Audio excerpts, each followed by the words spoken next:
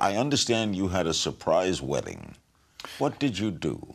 Well, it, it was only a surprise. The, only people that knew about it were Megan and myself. Uh, we had been to Debra Messing's wedding, uh, who played uh, Grace on Will and Grace, and there some paparazzi had found out about it, and sort of there was an ugly 15 minutes where a helicopter showed up. They're nuts. And it was like, what a drag. So we were going to have our wedding, and just in case anybody was going to try and take a picture, we said, let's try and pull this off.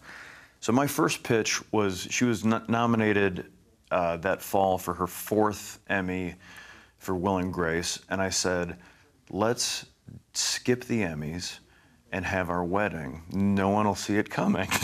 Everybody will be at the Emmys. And that was our plan for a minute, and then she said, you know, I, I should go to the Emmys. I'm nominated. So we did it the night before. We had all of our family in town uh, for the Emmys.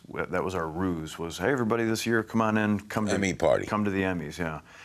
And uh, so the night before we had a, a dinner party and Where? said uh, at our at our house in the hills. Um, just and it was just 20 people. It was a small affair, and we said, now if you will all step into the yard, um, this is our wedding, and uh, we'd like you to to take part in it.